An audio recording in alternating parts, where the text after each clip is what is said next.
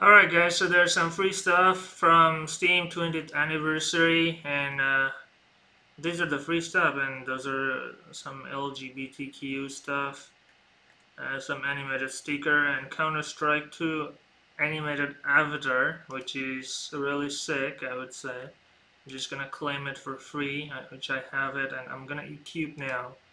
You know, I cubed it. Uh, hopefully it shows on my profile. I'm just gonna claim everything it giving me. So I'm just gonna get my free stuff. I'll cube it later. I'll just game ownership required. What is this game though, by the way? Uh, okay, I'll come to that later.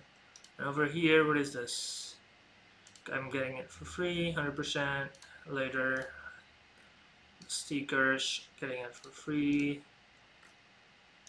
This one I'm getting it for free as well so yeah. Those are the most uh, impressive ones. So this Counter-Strike 2 animated avatar. So yeah let me in the comment what you guys think and if you manage to load this page all you gotta do is just copy that will copy this link into the description to you know more easier way to find it I also have a bunch of points I need to finish on. So yeah, thanks for watching. Leave a thumbs up if, if it's helped. Thank you.